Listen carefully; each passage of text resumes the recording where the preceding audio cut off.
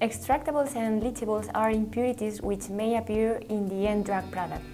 These impurities arise from direct contact of the product with the packaging material or with other plastic material used during manufacturing processes. The quality profile of the end product is greatly altered by the presence of leachables. Furthermore, these compounds may pose health concerns for the end user. Therefore, keeping these impurities under control is crucial. In Azierta, alongside with our analytical partner, we carry out reliable and representative extraction studies.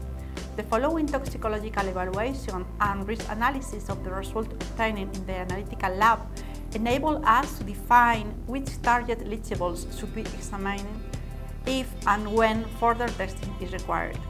In Azierta, we have extensive experience in assessing the security and compatibility of packaging and manufacturing materials. So, if you need, contact us.